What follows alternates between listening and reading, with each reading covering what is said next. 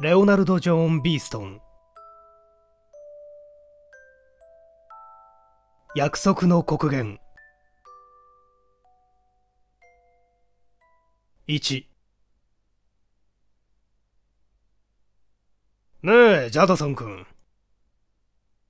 とチェインズ刑務所を出てきたディパーが微笑しながら言った。君は運のいい男だぜ。まあここの景色とあそこの景色を比べてみるがいい。ここは見晴らしのいい古風な綺麗な庭園でテムズ川の波の音まで聞こえてくるがあそこはドアの穴に柱を打ち付けた恐ろしい石の部屋だ。しジャドソンが灰のように青くなって遮った。どうした？妻が来た。頼むからもっと小さい声で話してくれたまえディーパー君。すると刑務所を出た男が荒作りのベンチから心持ち前かがみになってステッキを差し伸ばして12フィートもあろうかと思われる長い立ち葵やひまわりの茂みをかきのけて瞳を凝らして向こうを見た。向こうのレンガ造りの壁のそばにはほっそりしたまだどこやら娘らしい初々しさのある一人の婦人が子供を連れて格子型にはびこった桃の木に突っ張りをかけている。君の奥さんは俺を嫌っているらしいぜ。リパーが両目を火のように光らした。ジャドソンはこれには答えなかった。リパーは両手を広い胸に当てて続けた俺の体は君の2倍もあるんだがそれでも奥さんはこの俺を嫌っている。しかしいくら奥さんが嫌ったってそんなことは構いやしない。君と二人で仲良くしていさえすらそれでいいんだ。ジャドソンの胸に昔の憎悪の念が火のように燃え出した。今にも相手の首筋に飛びついて息の根を止めその愚弄と命を絶滅してやりたいような誘惑を感じた。けれどもこの乱暴な誘惑はいつものようにすぐ消えた。彼は流血の殺人を犯しかねぬ情熱を持ちながらいつもその100分の1の勇気も持ち合わせていなかった。しかしこれではいかんから。これからはつった奥さんに構ってもらいたいもんだ。と急にディパーが打ちしおれた陰気な調子になっていった。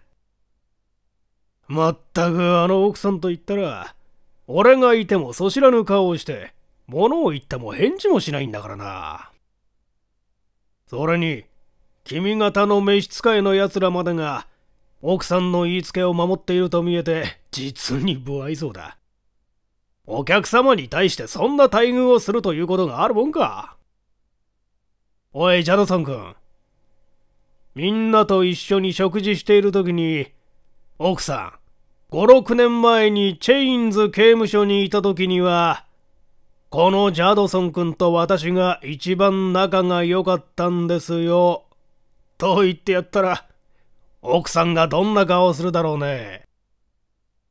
しジャドソンが苦い顔をしてあいだ。聞こえるじゃないか。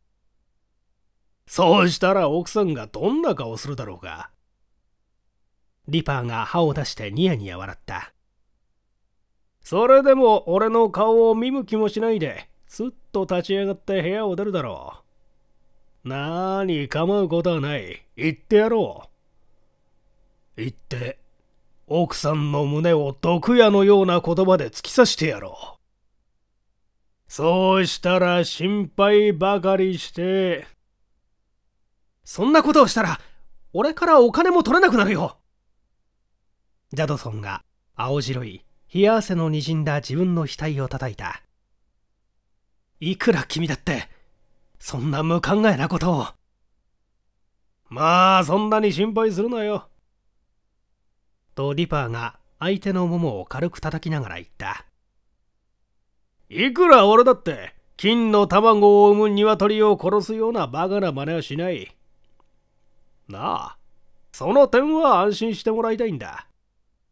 不幸な昔の旧友に数百ポンドの金をくれ。またこれからも時々お金をくれようという友達に対して誰がそんなことをするものか。なぜ？なぜって君はチェインズ刑務所を出ると僕が苦しんでいる間に一人で正当な方法で巨万の富を得たんだから。羨んでも仕方がないんじゃないか？だから、その君が何も君の過去を知らぬ無邪気な女と夫婦になったからって、俺がその女に闇夜のような秘密を打ち明けたりなんかしやしない。この俺は決してそんな無謀なことはしやしない。二人が刑務所を出てからもう四五年になる。ほとんど五年だ。そして二人が出た時期もあまり違わなかった。出ると君は米国に渡って商売に手を出してどんどんお金を儲け、同時にあの女と結婚したんだ。米国で君と会ったのは、この俺にとっちゃ幸せだったが、君にとっちゃあんまりありがたくなかったらしい。いや、よほど心配して、一時は俺を殺そうとまで思っていたらしい。しかし言っておくがね、そんなバカなことをするもんじゃないよ。君はきっとやり損なうに違いない。その上君にはハエを殺すほどの元気もない。ある人なんか君のことを臆病者だと言っているが、実はそれというのもやっぱり、チェインズ刑務所にいた間、毎朝礼拝の時に隣り合って腰掛けていた男を心の中で愛しているからだよ。なあ、そうだろう？ジャドソンがぐっと喉に詰まった塊を飲むような音をさせた。そうに違いない。毒々しく笑いながらリパーが続けた。けれどもそれにしちゃ、君はどうして俺に一言挨拶しないで米国からこっちに帰ったんだもっとも君の居所はすぐ突き止めることができた。いつだってこの俺は君の居所ぐらいすぐ鍵出してみせるよ。こんな立派な家に安穏と暮らしているなんて、実際君は幸福な男だ。しかし随分長いよした。奥さんがいるから土曜から月曜まで投留しただけでたくさんだ。今夜はロンドンに帰ろう。7時40分の汽車で帰りたいのだが、それまでに200ポンド都合つけてくればいいか。それだけはぜひ都合つけてもらいたいんだ。だって、この5年間でもう2000ポンドも出したじゃないか。ジャドソンが言った。彼は声を震わすまいとしても自然に震えるのをどうすることもできなかった。その上、両手もわなわな激しく震えた。胸の鼓動が高くなった。リパーはカラカラ笑いながら。そら2000ポンドもらったさ。それがどうした？君は吐き捨てるほどお金を持ってるじゃないか。君は人の生き血を吸うような男だジャドソンが立ち上がりながらあえいだ。誰の生き血を？殺気を含んだ目でリパーが見上げた。俺が君の生き血を吸う？どうしてそんなにブルブル震えているんだ？病気なのか？君はわざと俺に大きな声を出させるんだ。それ奥さんがこっちを向いてるじゃないか。もし俺がチェインズ刑務所だなんて言ってるのを奥さんが聞くと、こっちへ来たまえと、ジャドソンが遮った。彼は頭の先から足の先まで震えている。リパーはクスクス笑いながら彼に従った。庭園を出て門を抜けると、外は林になっている。その林の中を通って大きな道に出ておよそ50ヤードばかり歩くとジャドソンがブナの苗木畑のそばで立ち止まった。そばに一本の木が倒れている。そこは低い丘の上で麓にははるか離れて青い鳩というバーがたった一軒あるばかり。ジャドソンが胸の興奮を一生懸命に抑えて静かに言った。ここまで来たらもう妻にわかる心配はない。妻のいる近くで昔の話はしてくれるなと約束してあったのに君はその約束を破ってしまった。がまあ済んだことはどうでもいい。さてこれからの問題だが君はどこまでも俺を苦しめるだろうが俺はただ心の平和が得たくてたまらんのだ。そこで君に相談するんだがもう200ポンド出そう。それでどこかによそへ行ってくれたまえね？ぜひそうしてもらいたいもんだ。せめて1年間来ないでくれるといい。750ポンドくれたら承知する。よし。言いながら彼は、鋭い苦痛を抑えるように額に手をやった。じゃあ750ポンド出す。しかし言っておくが、もし君が12ヶ月以内にまたやってきたら、その時は、その時は。彼は言いよどんで口を閉じた。わかってるわかってる。12ヶ月以内には決して来ない。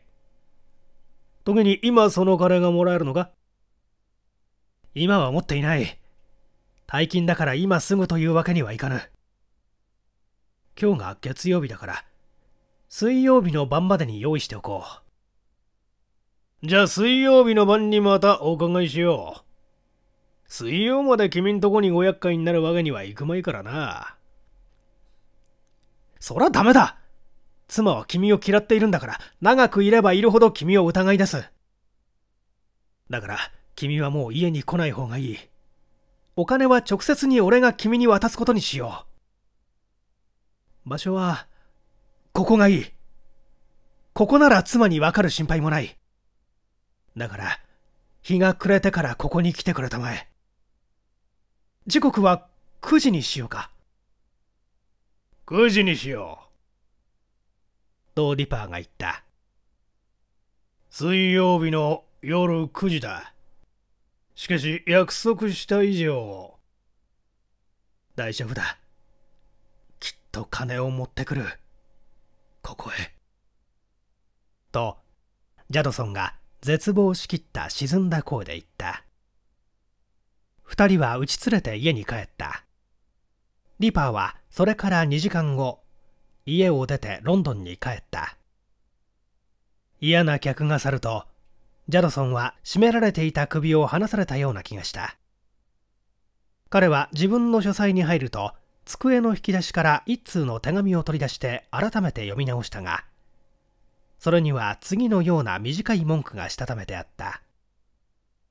もしあなたの方に差し支えありませんでしたら、次の月曜日の7時から8時までの間にお伺いいたします。差出人の名前はローランズとある。7時から8時といえばもうすぐであるが、ジャドソンはその来客を待つに最も悪い方法をとった。彼は一つの部屋に閉じこもり、何もしないでその部屋の中をあちらこちら歩き回った。そしていよいよローランズが来た時には、ほとんど熱病の人のように苛立っていた。ローランズというのは、ほっそりした体に薄い服を着て、長い首に低いカラーをかけた、物腰のすこぶる柔和な丁寧な人であった。ジャドソンが緑色のビロードの幕を引いたり、窓の扉を閉めたりする間、来客は膝の上に両手をやって節目がちに座って待った。ブランナを探し当てるまでは私のところへは来ないという約束だったからブランナの居所が分かったんでしょうね。とジャドソンが口を切った。分かりました。どこにいるんです？ハムステッドにいます。ウエストハムステッドに一家を持って妻や子供たちと暮らしています。幸福に？ごく幸福に暮らしています。一週間に三度ずつは支部に出かけ、普段は温室で草花を作るのを道楽にしています。ブランナは模範的の夫模範的の父らしいです。わかりました。と部屋の中を歩きながらジャドソンが言った。かなり高価な報酬だとは思いますがしかし秘密探偵としての仕事に成功なさったのですから私はそれで満足しました。私がニューヨークのあなたの事務所をお尋ねしてブランナの居所の捜索をお願いしてからもう1年以上になりますね。ほとんど2年ですよ。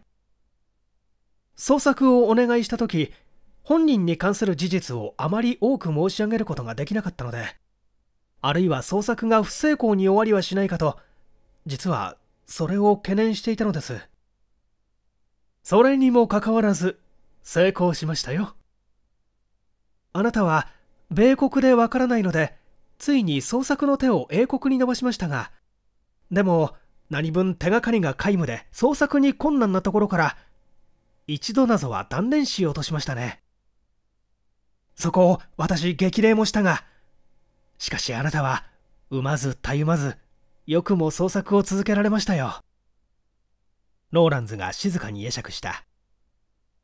そして偶然にもあなたはブランナが英国のピンリコの家に住んでいることを突き止め私に全てを報告しました。あなたは苦心の末ついに目的の人物を探し出してその写真まで持って帰ってくれました。今でもその写真はこの引き出しの中に大切にしまってあります。それで私はあなたのお仕事に対して莫大の報酬をお支払いしました。今でもその点は感謝しています。けれどもちょうどその頃私は米国の仕事を片付けたいと思って忙しく働いていました。すぐには英国に帰れませんでした。そこであなたに一足先に英国へ帰っていただき彼がピンリコの部屋から引っ越すようなことはありはせぬか様子を見ていただくこととしたのです。けれどもあなたが英国に来た時にはもうブランナはピンリコの部屋から行方不明になっていました。それを今度またあなたが探し出したのです。今度は彼も永住の地を定めたということですしまた私も近くにいるのですからもう心配ありますまい。ローランズさん。これであなたのお仕事はいよいよ終わりました。もう彼の宛名を書いてくださりさえすればそれでいいのです。そしたら最後の報酬として私も手形を書きましょう。これがブランナの宛名です。と言いながら、ローランズが小さな紙切れを渡した。ロンドン、西ハムステッド・ハッセルガードンス、22番、ウィリアム・ペタソン・ブランナ。と、ジャドソンが読んだ。結構です。じゃあ、この手形をお渡しいたします。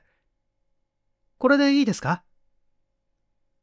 これだけいただけたらたくさんです。しかし、随分苦心なさったでしょう。ほとんど不可能と思われることをやり遂げられたのですから。ニューヨークへはいつお帰りですか？すぐ帰ります。明日、リバプールを出版する船に乗るか、または5日後にサザンプトンを出る船に乗ろうかと思っています。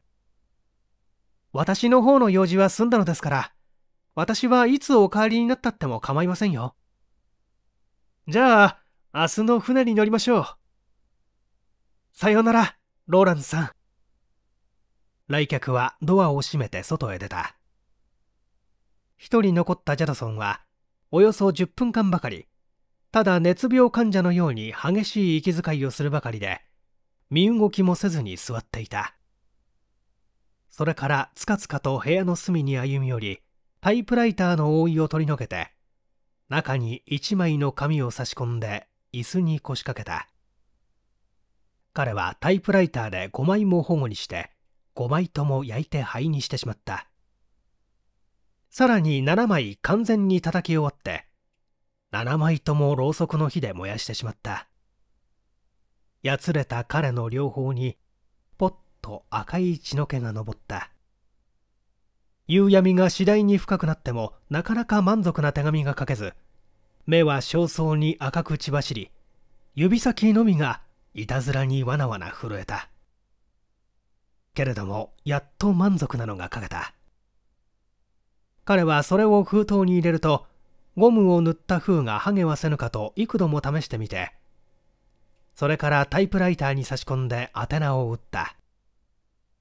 宛名はロンドン西ハムステッド・ハッセルガードンス22番ウィリアム・ペタソン・ブランナ様であった。彼はそれを自分で持って出て丁寧に郵便箱に投げ込んだ2新聞を見ますとカベンディッシュ劇場の夕べの初日は大入りだったそうですねあなた今夜行ってみようじゃございませんか？おお、行こう。席を買い取っときな。ブランナは二重も若く見える背の低い太った美しい妻と愉快げに談笑している。じゃあ午後になって電話をかけて椅子を2つ予約しておきますわ。朝食の紅茶を沸かしながら彼女がこう言った。おお、それがいい。ブランナは今朝配達された一束の郵便物から一通の手紙を抜き取って封を切った。彼は青と白とで装飾された部屋のストーブのそばに丈夫そうな股を広げて立っている。彼が加えたパイプからは火のつかぬ金色のタバコの一片が垂れ下がっている。いかにも立派な戦闘車のような頑強な顎を持ち、鼻には少年時代からの傷が残り青い電光のように光る落ちくぼんだ両目には鋭さとともに滑稽な気分も漂っている彼はゴリラのように毛深い胸を持ち前腕の毛は手の甲にまで生え広がっている彼は第一の手紙を読み終わると封筒にしまってマントルピースの上の網棚に投げ込み第二の手紙を開くとくすくす笑い出した。何を笑っていらっしゃるの？と妻が打ち解けた調子で尋ねた。お前が服を作った仕立て屋が特別手数料の書き付けをよこしたよ。特別手数料だなんて滑稽だな。今日俺が小切手を送っておこう。それから彼は第三の手紙を開けた。読んでいくうちに彼の太い眉がピリリと上がりまた下がった彼はちらりと鋭い眼差しで妻を盗み見したが妻はあちらを向いているそこでまたタイプライターで打ったその手紙を読み始めた。彼はパイプが砕けるほど強く歯を食いしばって青い両目を鋭く輝かした。恐ろしく難しい表情が彼の顔つきを石のように固くした。何か大変なことでも書いてありますの？と妻が優しく聞いたおおえ？大変なこと。おおまあ大変なことだ。商売上の手紙は事務所宛てで送ってくれるといいのだから本当にそうでございますわねとつぶやいたきりで妻は慎み深く口をつぐんだ。ブランナは一通を読んでしまうと最後の文句をじっと睨んだ。太い眉をしかめて髪に穴が開くほど鋭く睨んだ2分間経ったそれでも彼は身動きしない火のついていないパイプを口から取っても火をつけようとはせずただ握りしめているだけだった彼は喉の奥の方で軽く咳払いした。それからまた繰り返して初めから読み始めた。ちょっと足踏みして1インチばかり前より広く股を分けて木が生えたように突っ立った。その手紙にはこんな文句が書いてあった。私は自分の名を打ち明けることはできませんが、あなたの物質的援助が欲しいのでこの手紙を書きます。私が昔あなたと一緒に法律を犯した罪人として同じ刑務所につながれていたものだと言ったら、あなたも物質的援助、すなわち私に金を恵むことをお拒みになりはしますまい。私はあなたと一緒にチェインズ刑務所につながれていた男です。私がどうしてあなたの居所を知ったか、どうしてあなたが今幸福に暮らしていることを知ったか、それはここでは申し上げられませんから、密会の上で申し上げましょう。実は、この密会を私が希望しているのです。おそらくあなたの過去は、あなたたちの社会の人も知らねば、奥さんもご存じないことでしょう。ですから、私が口をつぐんでいさえすれば、秘密が漏れる心配はないのです。そして万一この秘密が漏れたらあなたの社会的の生涯は永久に葬られてしまうのです。ところがあなたは大した損もしないでやすやすと私に口をつぐませることができるのです。あなたはただ次の水曜日の晩にテムズ川沿いのファニーレイ村まで来てくださりさえすれば、それでいいのです。あなたはその時までにできるだけたくさんの現金を用意して、晩の9時に間違いなく来てください。村から南に行くと、青い鳩という一軒のバーがあります。そのバーのそばの丘を登ると、頂にブナの苗木畑があります。私はこの場所で、さっき申し上げた時刻に間違いなくあなたに面会したいのです。この手紙は、お読みになるとすぐ焼き払うのがあなたのおためです。ただそれだけで、差出人の名前もなければ住所もない。ブランナはタイプライターで打った一語一語を念入りに注視しながら、また繰り返して初めから読んだ。そしてタバコを口から取って、歯を食いしばって、下唇を前に突き出した。それから広い肩を張って、静かに胸に息を吸い込んで、またふっと静かに吐き出した。彼はその手紙をねじ曲げて一本の太い小よりを作るとマッチを吸ってその小よりに火をつけそれをパイプに持って行って火がついて膨れ上がるタバコを指で押さえてはまた火をつけしながら小よりをすっかり焼き払ってしまった妻は心配らしい顔つきで「急ぐ手紙ですの?」おうと三度煙を吐き出した後でやっとブランナが答えた。何か悪いお手紙なんですか？いいえ。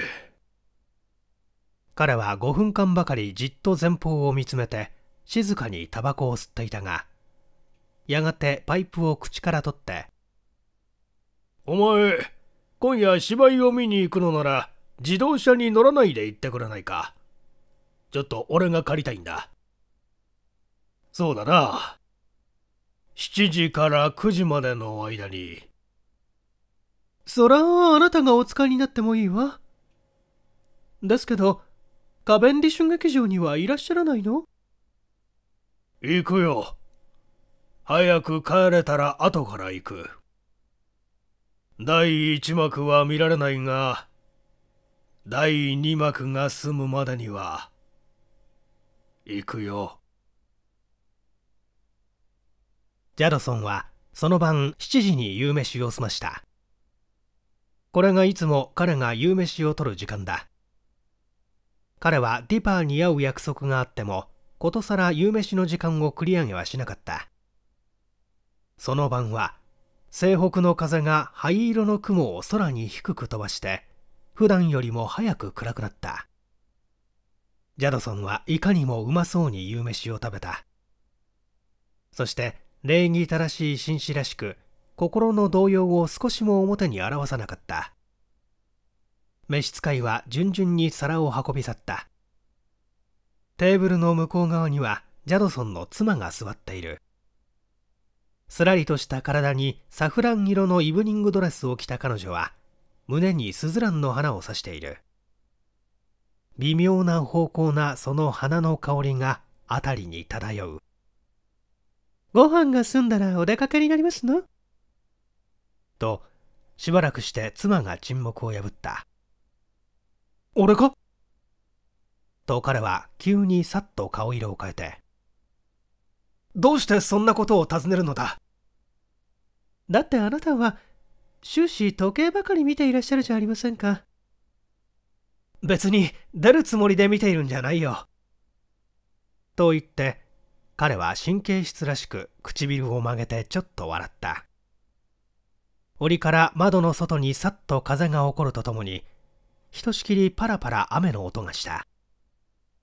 しばらく二人は無言でいた。ジャドソンは沈黙がち。妻もあまり口を聞かなかった。彼は常から妻の比較的無口の癖を愛していた。もし妻がおしゃべりだったらとても辛抱できないだろう。彼は彼女のおとなしくて静かな物腰や彼の頭を愛撫するほとんど透明なほど白い美しい彼女の手が気に入っていた。苦しい時に彼はどんなにその妻を愛しただろう。彼女は彼にとってまるで乾いた人の唇に触れる水晶色の清水をたたえたコップのようなものだ。たちまち彼女がまた口を開いた。あなた私にあることを約束してくださいますか？してあげるよ。もう家であの人のことは言わないでくださいな。ジャドソンはブドウ酒のグラスを手探りながらディパーのこと彼が不確かな手つきでグラスを歯に触れさすとピカリと酒が光った。彼はグラスを下に置いてもうあの男は来ないだろうお断りになったのうんもう来ないはずださあ2階に上がろうか二人が立ち上がると召使いがテーブルを片付けた。ジャドソンは時計を見ながらちょっと窓際に行ってみた。そしてカーテンを払いのけると、じっとガラス越しに外を眺めたが、目につくものはだんだん暮れゆく夜の闇にキラキラ光って降る雨の筋ばかりだった。ジャドソンは窓際を去ってピアノを弾く妻のそばに歩み寄った。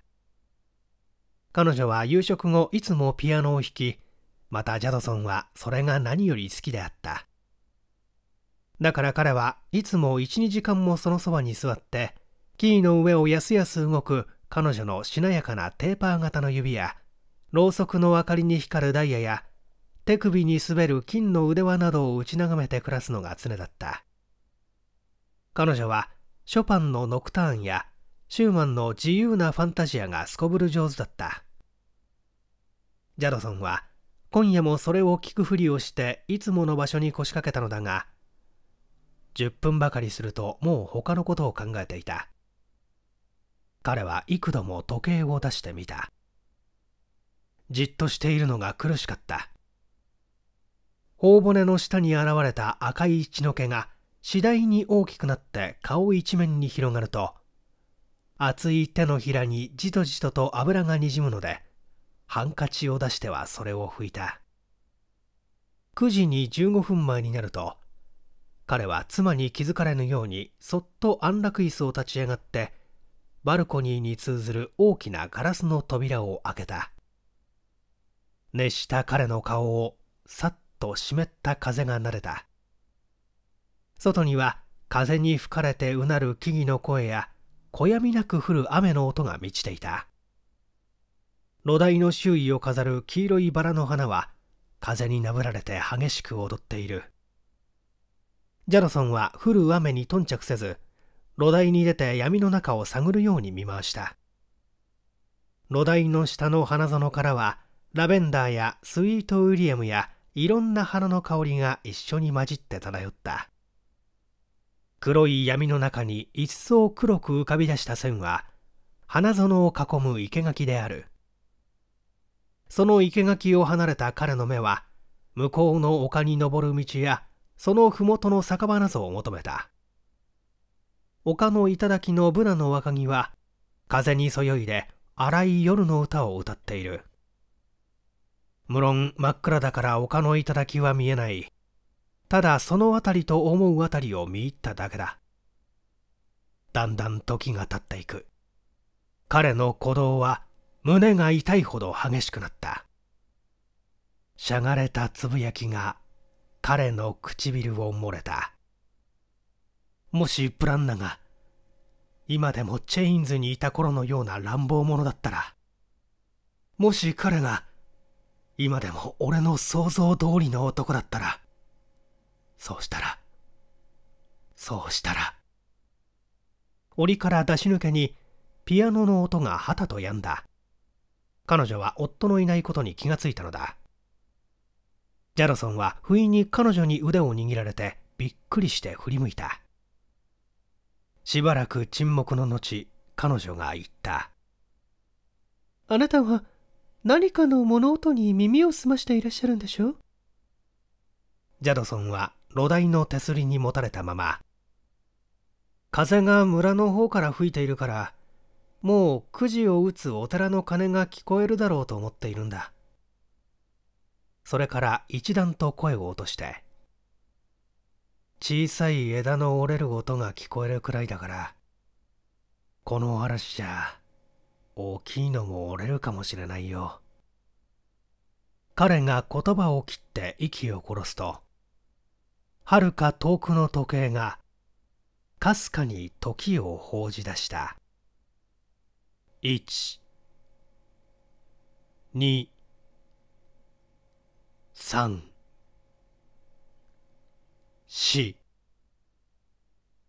その刹那たちまちジャドソンの全身がピリリと震え心臓の鼓動が一時に止まったかと思うと急に早金のように激しく轟き出した。腹の底から「ホラ」という叫び声が出かけたがそれは青白い唇でせき止めた。あら？何の音でしょう？